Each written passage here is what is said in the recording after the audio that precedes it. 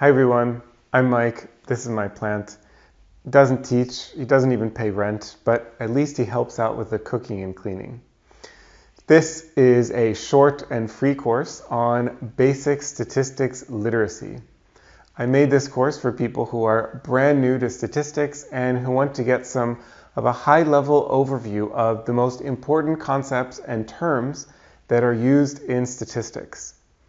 By the end of this course, you will be comfortable talking about the most commonly used statistical analysis methods and how to interpret the results of those analyses.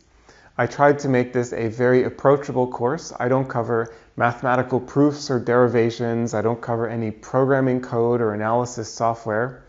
You can get through all of the videos in one or two settings, and I hope you find the course to be instructive and useful. And it's free and it's short. You have nothing to lose really. Just sign up and enjoy.